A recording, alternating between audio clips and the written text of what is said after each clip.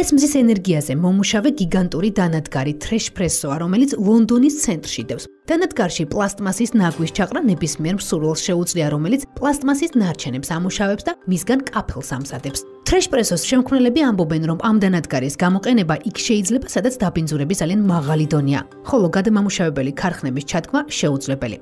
ტრეშპრესო კომპანია პენტატონიკმა შექმნა. პენტატონიკი გერმანულ-ბრიტანული კომპანია, რომელიც თავის პროდუქტებს მხოლოდ ნარჩენებისგან ქმნის, მაგალითად, ავეჯს, პლასტმასისგან და შუშის ნაკეთობებს smartphones-ების ეკრანებისგან.